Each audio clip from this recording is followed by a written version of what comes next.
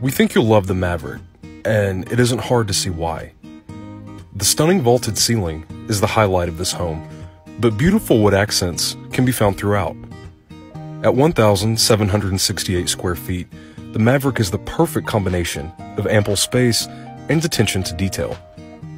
You have an open concept kitchen with a walk in pantry, ideal for entertaining.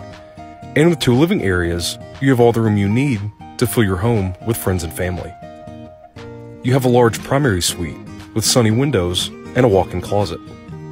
A beautiful spa bathroom with a garden tub and a walk in shower.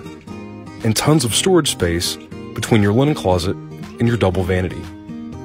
The Maverick is a four bedroom, two bath home with the option of a fifth bedroom.